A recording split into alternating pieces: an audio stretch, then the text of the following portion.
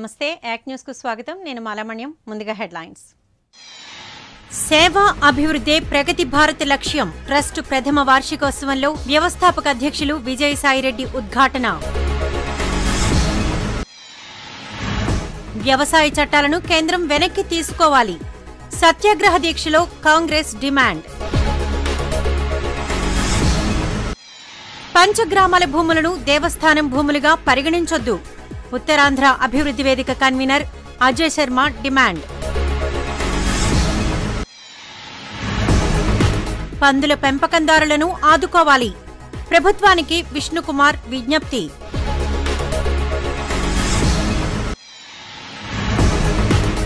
జిల్లాలో పెరుగుతున్న కరోనా కేసులు ఆందోళనలో ప్రజలు. ఇక వార్తల వివరాలు చూద్దాం. ఎంపీ విజయసాయిరెడ్డి అధ్యక్షతన గత సంవత్సరం ఏర్పడిన ప్రగతి భారత్ ఫౌండేషన్ ట్రస్ట్ మొదటి సంవత్సరం వార్షికోత్సవం స్థానిక ప్రైవేట్ హోటల్లో ఘనంగా నిర్వహించారు.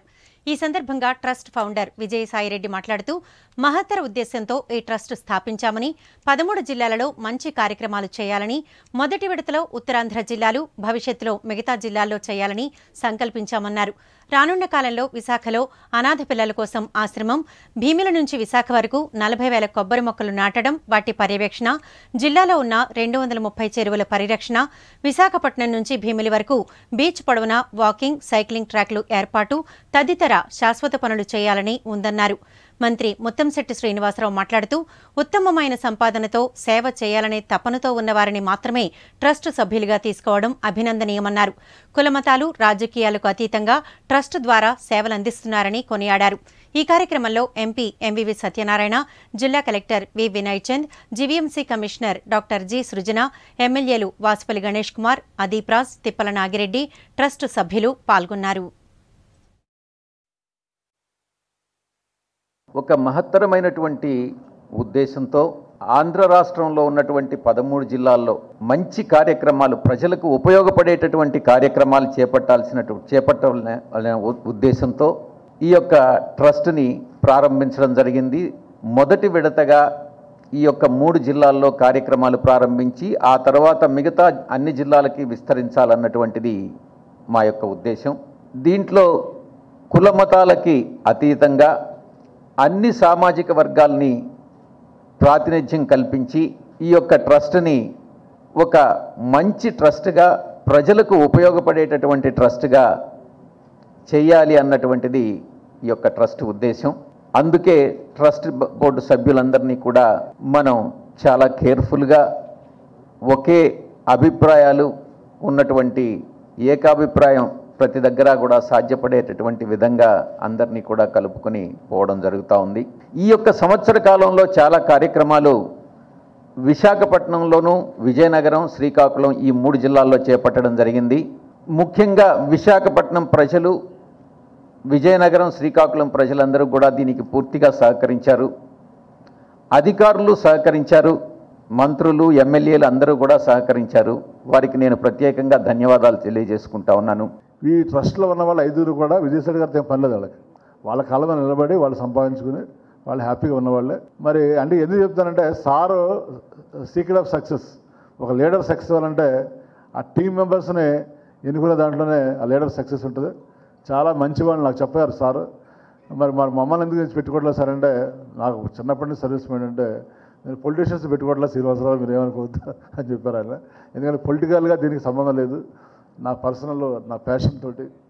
జనరల్గా సర్వీస్ ఎలా చేస్తారంటే మాలాంటి యంగ్స్టర్స్ అందరూ కూడా ముందు సర్వీస్ చేసి తర్వాత రాజకీయాలకు వస్తారు. కానీ సారు జీవితంలో అన్నీ ఇష్యూ చేసిన తర్వాత మరి ఏమీ ఆశించకుండా ఒక నిస్వార్థంగా నిష్పక్షపాతంగా రాజకీయాలకి కులాలకి పార్టీలకు అతీతంగా సేవ చేయాలి అనే ఒక మంచి ఉద్దేశంతో మరి ఆయన ఈ ట్రస్ట్ పెట్టడం.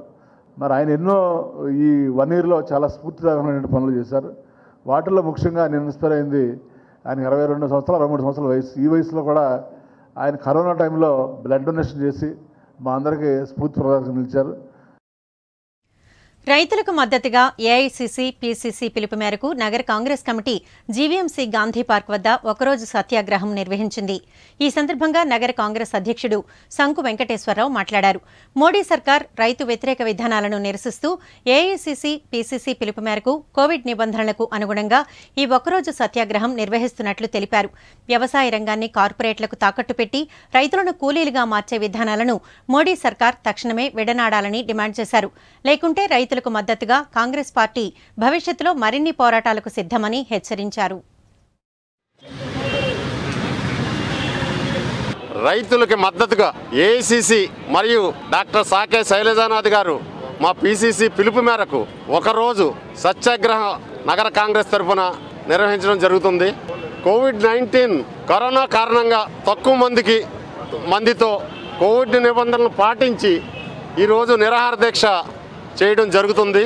రైతు వ్యతిరేక ప్రభుత్వం ఏదైతే ఉందో కేంద్ర ప్రభుత్వం ఈ బీజేపీ ప్రభుత్వం రైతు వ్యతిరేక విధానాలను విడనాడాలని వారికి బుద్ధి రావాలని అదానీలకి అంబానీలకి రైతుల్ని వ్యవసాయాన్ని కట్టబెట్టాలని చెప్పేసి ఈరోజు కేంద్ర ప్రభుత్వం ముందుకు వెళుతుంది.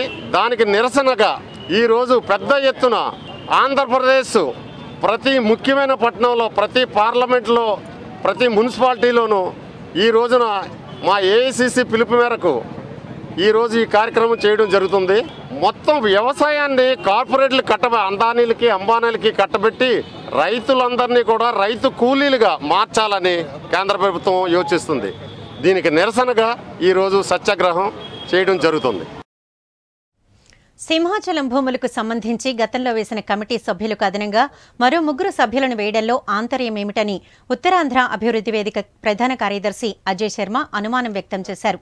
సీతమ్మధార ఎల్ఐసి క్వార్టర్స్లో ఏర్పాటు చేసిన మీడియా సమావేశంలో ఆయన మాట్లాడారు. కక్షిదారుగా ఉన్న ఈవోని కమిటీ కన్వీనర్గా వేయడాన్ని తప్పుపట్టారు. ఈ భూములను పంచగ్రామాల భూములుగా మాత్రమే పరిగణించాలని దేవస్థానం భూములుగా పరిగణించకూడదని డిమాండ్ చేశారు. పంతొమ్మిది వందల మూడు గిల్మ్యాన్ సర్వే రెండు వేల ఇరవై ఒకటి జనవరి సర్వే ఆధారంగా హక్కుదారులను గుర్తించాలన్నారు. మీడియా సమావేశంలో స్థానిక నాయకులు వైకే నాయుడు పీవీకే రాజు పాల్గొన్నారు. ఆమె అనుగుణంగానే అధికారంలోకి వచ్చిన తర్వాత జూలై రెండు వేల పంతొమ్మిదిలో ఈ సమస్య పరిష్కారానికి ఏం చేస్తే బాగుంటుందో సూచన చేయడానికని ఒక అడ్వైజరీ కమిటీని నియమించాడు ఆయన. జీవో కూడా జారీ చేశారు అందులో మా ముచ్చంశెట్టి శ్రీనివాసరావు గారు పెద్దుర్తి ఎమ్మెల్యే గారు జిల్లా కలెక్టర్ గారు ఇలాంటి వాళ్ళని పెట్టి ఐదుగురితో కమిటీ వేశారు. ఈ సంవత్సరం తర్వాత ఇప్పుడు మళ్ళీ ఈ సంవత్సరం అంతా ఆ కమిటీ ఏం చేసిందో ఏం సూచనలు చేసిందో తెలియదు కానీ ప్రభుత్వం మాత్రం ఈ సమస్య పరిష్కారానికి ఒక అడుగు కూడా ముందుకి వేయలేదు. ఇప్పుడు అక్టోబర్ ఇరవై తొమ్మిదిని అంటే రెండు రోజుల క్రితం ఈ కమిటీకి అదనంగా మరో ముగ్గురు సభ్యులను నియమిస్తూ మళ్ళీ ఇంకో జీవో జారీ చేసింది. అందులో విజయసాయిరెడ్డి గారు ఇంకా అనకాపల్లి ఎంపీ గారు ఇలాంటి వాళ్ళతో ముగ్గురితో కలిపి మళ్ళీ అదనంగా కలిపారు. మేము అడుగుతున్నది ఏంటంటే మరి ఈ సంవత్సరం పాటు ఈ కమిటీ పని చేయకపోతే మీరు ఏం చేస్తుంది ప్రభుత్వం అని ఇప్పుడు కొత్తగా అదనంగా నియమించారు బాగానే ఉంది. ఇప్పుడు మాత్రం చేస్తుందని గ్యారంటీ ఉందని. అందువల్ల మేము కమిటీలో ముగ్గురు నియమించారా ముప్పై మంది నియమించారా అన్నది మెటీరియల్. మెటీరియల్ ఫ్యాక్ట్ ఏంటంటే సమస్య పరిష్కారానికి నువ్వు నిజాయితీగా కృషి చేయాలి అంటే సమస్య ఎందుకు వచ్చింది? దీని పరిష్కారం ఏమిటనేది పరిశీలన చేయాలి. మహావిశాఖలో పందుల స్వైర విహారానికి అడ్డుకట్ట వేసే చర్యలకు జీవీఎంసీ ఉపక్రమించింది. తమిళనాడు మధురై నుంచి ప్రత్యేక బృందాన్ని తీసుకొచ్చి నగర పరిధిలో ఉన్న పందులను తరలించే ప్రక్రియను ప్రారంభించింది. ఈ చర్యను పందుల పెంపకందారులు ప్రజా సంఘాలు వ్యతిరేకిస్తున్నాయి. ఈ మేరకు జీవీఎంసీ గాంధీ పార్క్లో పీఓడబ్ల్యూ సహకారంతో చేపట్టిన నిరసన కార్యక్రమం రెండో రోజు కొనసాగింది. దీనికి బీజేపీ రాష్ట్ర ఉపాధ్యక్షులు మాజీ ఎమ్మెల్యే విష్ణుకుమార్ రాజు మద్దతు తెలిపారు. ఈ సందర్భంగా ఆయన మాట్లాడుతూ ప్రభుత్వ నిర్ణయం మంచిదే అయినప్పటికీ పందుల పెంపకమే వృత్తిగా జీవిస్తున్న వెయ్యి కుటుంబాలకు ఉపాధి చూపించి ఆదుకోవాల్సిన బాధ్యత కూడా ప్రభుత్వంపైనే ఉందన్నారు.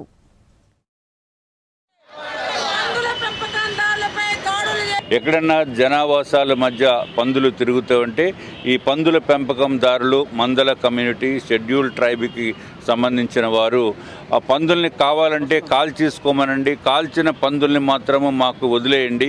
మా పందులు కాబట్టి దాన్ని కూడా తీసుకుని వెళ్ళిపోవటం అంటే మా పొట్ట కొట్టిన దానితోటి సమానము. చాలా అన్యాయం అది. మా సంపదని దోచుకుని పోయే పరిస్థితి చేస్తున్నారు అని చెప్పి వారు బాధపడుతూ వాళ్ళు రిప్రజెంటేషన్ మాకు ఇవ్వటం జరిగింది. అట్లాగే మిగిలిన ప్రజా సంఘాలు కూడా వారు కూడా ఇక్కడికి రావటం జరిగింది.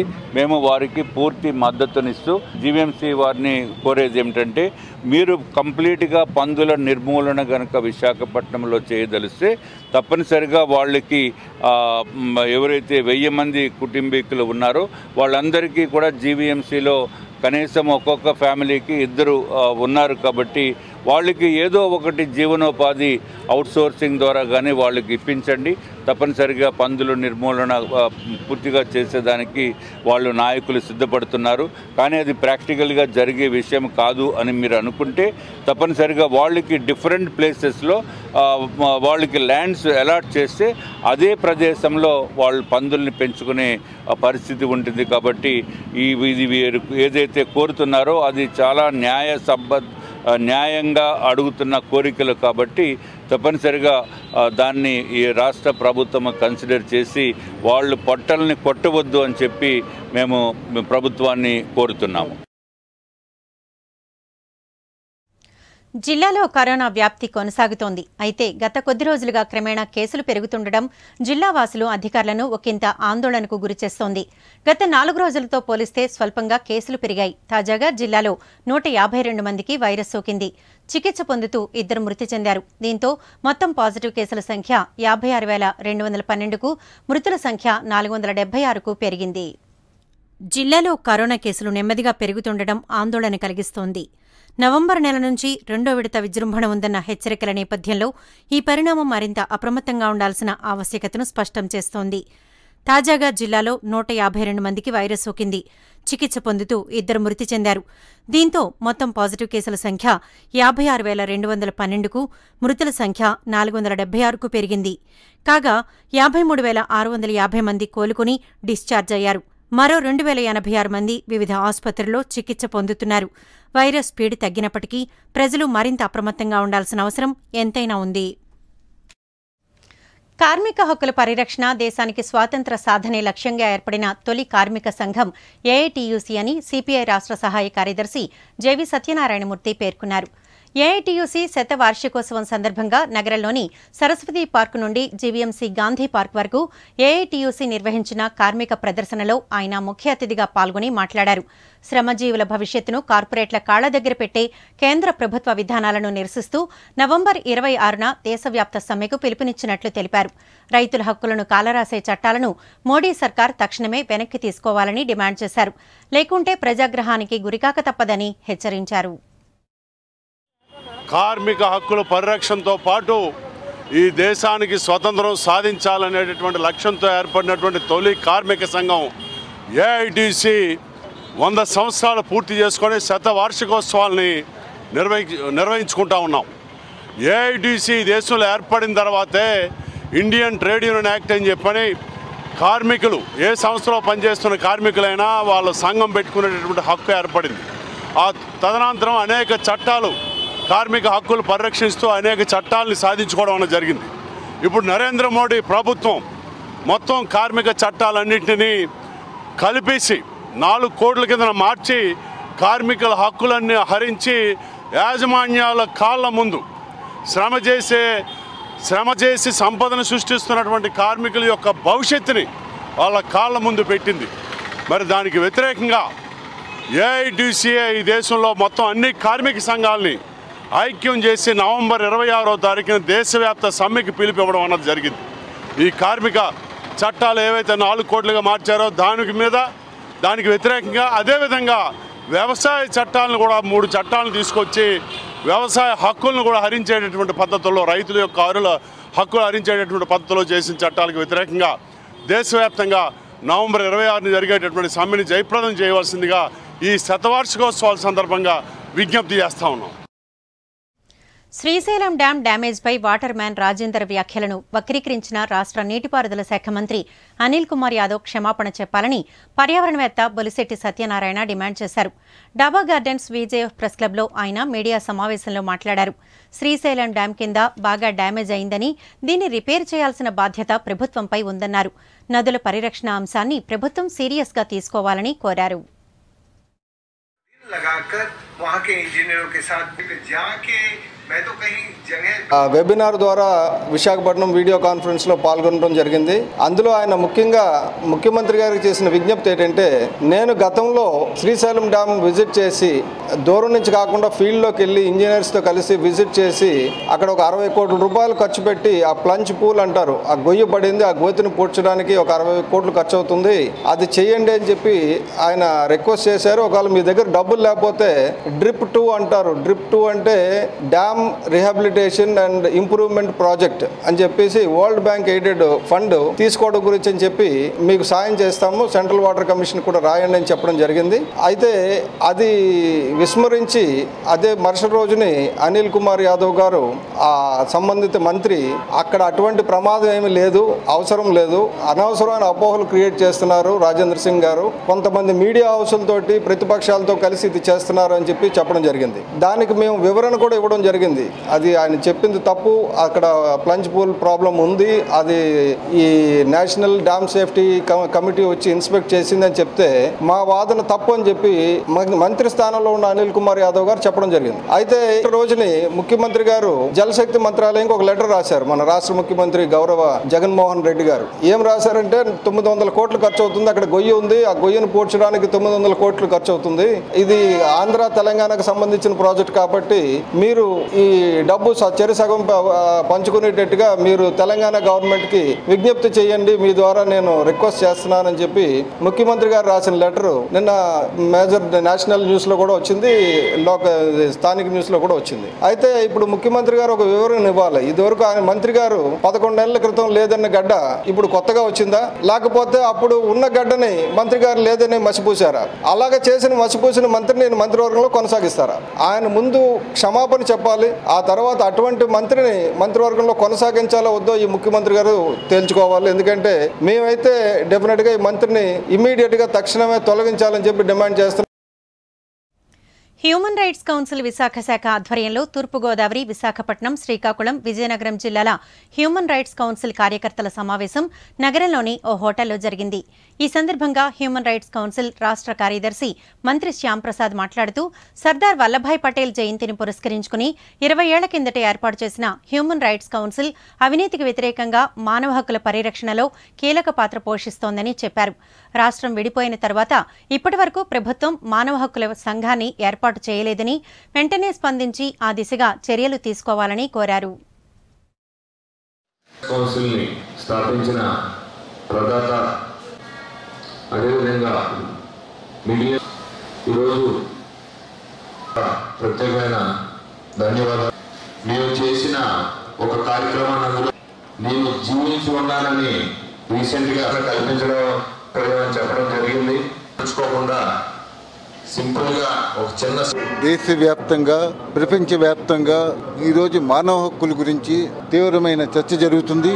మానవ హక్కుల పరిరక్షణలో ప్రతి ఒక్కరికి బాధ్యత ఉంది. ముఖ్యంగా మానవ హక్కుల డిఫెండర్స్ అంటే హ్యూమన్ రైట్ డిఫెండర్స్ అన్న వాళ్ళకి వాళ్ళకి ఎక్కువ బాధ్యత ఎక్కువ ఉంది. దానికి దీన్ని చేస్తున్నటువంటి తెలుసుకున్న చట్టాల గురించి కానీ తెలుసు తెలుసుకున్నటువంటి శాసనాల గురించి కానీ ఇతరుల హక్కుల పరిరక్షణ కోసం కానీ మనం ఏ విధంగా కృషి చేయాలన్న దాన్ని మా సభ్యులందరికీ కూడా ఈరోజు చర్చావేదిక లాంటి కార్యక్రమం నిర్వహిస్తున్నాము. ముఖ్యంగా మాకు వివిధ ప్రాంతాల నుంచి తూర్పుగోదావరి కృష్ణా గుంటూరు కాకుండా తూర్పుగోదావరి విజయనగరం విశాఖపట్నం శ్రీకాకుళం జిల్లా నుంచి మా సభ్యులు వస్తున్నారు. వాళ్ళు వచ్చిన వాళ్ళందరికీ కూడా మనం బాధ్యత ఏమిటి అన్నది ముందు చర్చించి మా దీంట్లోని ఎటువంటిది చేస్తాం ఇంకొకరి హక్కుల్ని ఏ విధంగా మనం రక్షణ కల్పిస్తాం ఇంకొకరి హక్కుల్ని ఏ విధంగా కాపాడుతాం? వాళ్ళకి ఏ విధంగా అవగాహన కల్పిస్తాం? చట్టాల మీద ఏ విధంగా అవగాహన కల్పించాలి? గ్రామీణ గిరిజన ప్రాంతాల్లో ఇప్పటికి కూడా లక్షలాది మంది హక్కులు కోల్పోతున్నారు. వాళ్ళ హక్కులు ఏ విధంగా కాపాడుకోవాలి? ఏ రాజకీయ నాయకుల వెనుకతలో కాకుండా ఏ కుల నాయకుల వెనుకతలో కాకుండా ఒక బాధ్యత గల పౌరుడిగా తమ హక్కులు ఏ విధంగా కాపాడుకోవాలి? ఒక పౌరుడు బాధ్యత గల పౌరుడిగా ఇంకొకరి హక్కుల్ని ఏ విధంగా మనం రక్షించాలి అన్నది తెలియజేయడం ఒక మా ఈ సమావేశం యొక్క ముఖ్య ఉద్దేశం. Padutha Theeyaga grand finale winner Sailakshmi హర్షిత్ను A creative makers in events Paida Kaushik memorial charitable trust సంయుక్త ఆధ్వర్యంలో స్థానిక ప్రైవేట్ హోటల్లో ఘనంగా సత్కరించారు. ఈ సందర్భంగా కుమారి హర్షిత మాట్లాడుతూ తన ప్రతిభను గుర్తించి సన్మానించినందుకు నిర్వాహకులకు కృతజ్ఞతలు తెలిపారు. దివంగత ఎస్పీ బాలసుబ్రహ్మణ్యంతో తన అనుబంధం మాటల్లో చెప్పలేనిదన్నారు. తన పాటకు మెచ్చి పదివేల రూపాయల నగదు ఇచ్చి ప్రోత్సహించడం ఎప్పటికీ మరిచిపోలేని తీపి జ్ఞాపకమన్నారు. ఈ కార్యక్రమంలో AMCE founder president Pratap Kumar తదితరులు పాల్గొన్నారు.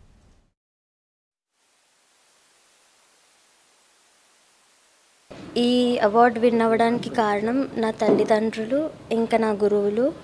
అలానే దీనికి ముఖ్య కారకులు బాలుగారు. ఈ అవార్డు విన్ అవ్వడానికి నేను చాలా ఆనందపడుతున్నాను. ఈ జిల్లాలో ఇదే first time senior category Padutha తీగలో ఒకరికి ఫస్ట్ రావడం. ఇంకా బాలుగారితో నా ఎక్స్పీరియన్స్ అంటే ఆయనతో నాకు చాలా మంచి మెమరీస్ ఉన్నాయి. ఒక బెస్ట్ మెమరీ అయితే రామకనవేమిరా అనే ఒక పాటకి ఆయన తండ్రి గారి పేరు మీద నాకు ఆయన సొంతంగా పదివేలు ఇచ్చారు. అది నాకు చాలా బెస్ట్ మెమరీ నేను పాడినప్పుడు ఆయనకి గూస్ బంప్స్ వచ్చాయని చెప్పారు. స్టాండింగ్ ఓవేషన్ కూడా ఇచ్చారు ఆ పాటకి. అది మాత్రం నా లైఫ్ టైం మెమరీ ఇలా ఎన్నో మెమరీస్ నాకు చాలా చాలా హ్యాపీనెస్ ఇచ్చాయి. ఇంకా చెప్పాలంటే ఆయన ఒక సింగర్గా కన్నా ఒక పర్సన్గా నాకు చాలా చాలా ఇష్టం. ఎందుకంటే అందరినీ ఈక్వల్గా చూస్తారు అందరితో చాలా చాలా బాగా మాట్లాడతారు. ఎప్పుడూ ఒకరిని నొప్పించడం అలాంటివి ఏం చేయరు. బాలు గారితో లాస్ట్ నేను ఈ ప్రైజ్ తీసుకోవడం అన్నది నాకు చాలా చాలా హ్యాపీనెస్. ఫ్యూచర్లో మంచి ప్లేబ్యాక్ సింగర్ అవ్వాలనుకుంటున్నాను నేను. అలానే నేను ఎంఏ మ్యూజిక్ చేద్దాం అనుకుంటున్నాను. ఎంఏ మ్యూజిక్ చేసి పిహెచ్డి చేద్దాం అనుకుంటున్నాను.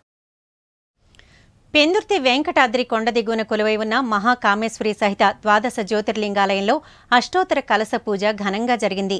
శరన్నవరాత్రి ఉత్సవాలను పురస్కరించుకుని ఆశ్వేజ పౌర్ణమి సందర్భంగా నూట ఎనిమిది కలశాలతో మహాకామేశ్వరి అమ్మవారికి విశేష పంచామృత అభిషేకాలు చండీ హోమం జరిపారు. వేదమంత్రాలు మంగళ వాయిద్యాల నడుమ అర్చకులు పూజాధికాలను శాస్త్రోక్తంగా నిర్వహించారు. కోవిడ్ నిబంధనలు అనుసరించి భక్తులు పాల్గొని అమ్మవారికి ప్రత్యేక పూజలు చేశారు. నవరాత్రులను భక్తి శ్రద్ధలతో ఆచరించడం వల్ల వచ్చే ఫలితం ఈ పౌర్ణమి నాడు చేసే ప్రత్యేక పూజల ద్వారా సిద్ధిస్తుందని ఆలయ ప్రధాన అర్చకులు కందల రాయుడు తెలిపారు.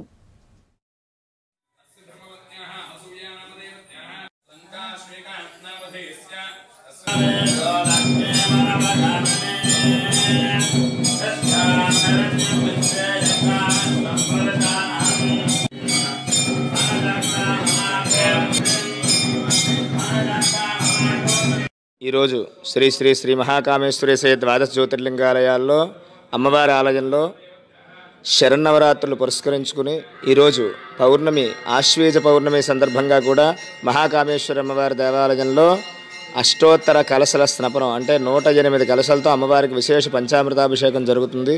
కాబట్టి భక్తులందరూ కూడా ఈ అభిషేకంలో పాల్గొని అమ్మవారి తీర్థప్రసాదాలు తీసుకుని అమ్మవారి కరుణకు పాత్రలవుతాయని చెప్పి ప్రార్థన చేస్తున్నాం. అలాగే ఈరోజు పౌర్ణమి సందర్భంగా కూడా విశేష చండీ హవనం కూడా జరుగుతుంది. ఈ తొమ్మిది రోజులు ఎంతైతే ఏకాగ్రతతో చేశామో ఈ రోజు ఈ పూజా కార్యక్రమంలో పాల్గొంటే అంతే ఫలితం వస్తుంది.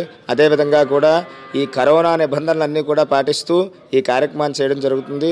కాబట్టి త్వరలోనే ఈ కరోనా కూడా నివారణ అవుతుందని చెప్పి అమ్మవారి దైవాలు అందరూ సుఖంగా ఉండాలని చెప్పి అందరూ కూడా అమ్మవారిని ప్రార్థించి తరించండి. ఏఐటీయూసీ స్థాపించి వంద సంవత్సరాలైన సందర్భంగా నగరంలో బైక్ ర్యాలీ నిర్వహించారు.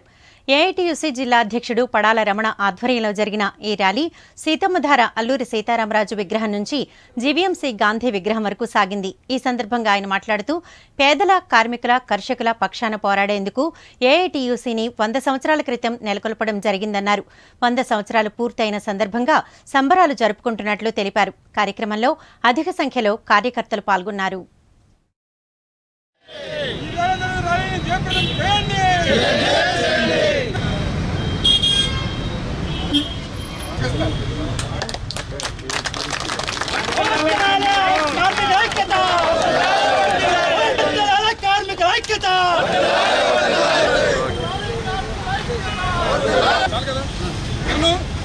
ఎన్నో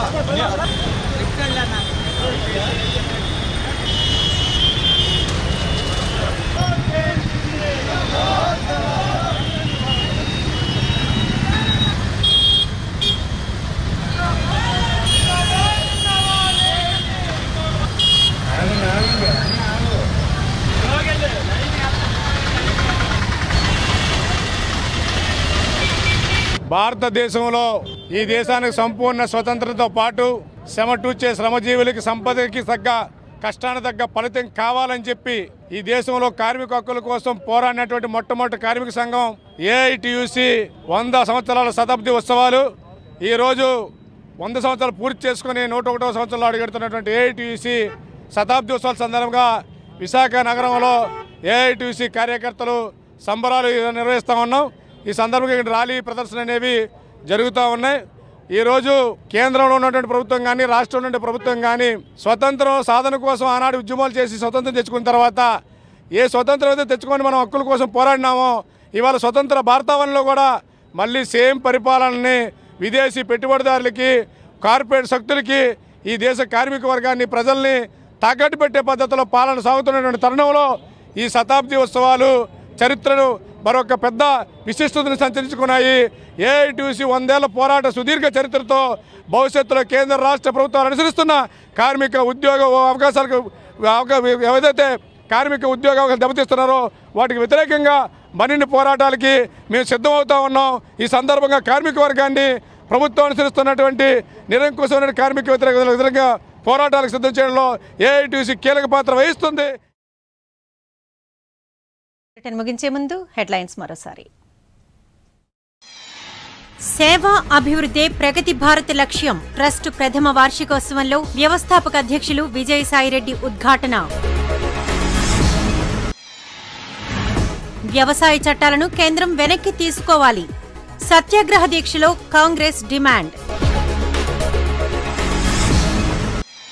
పంచగ్రామాల భూములను దేవస్థానం భూములుగా పరిగణించొద్దు. ఉత్తరాంధ్ర అభివృద్ధి వేదిక కన్వీనర్ అజయ్ శర్మ డిమాండ్. పందుల పెంపకందారులను ఆదుకోవాలి. ప్రభుత్వానికి విష్ణుకుమార్ విజ్ఞప్తి.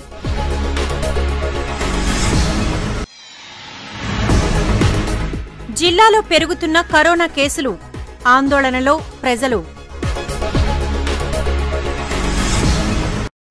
యాక్ ఇంతటితో సమాప్తం. Stay connected.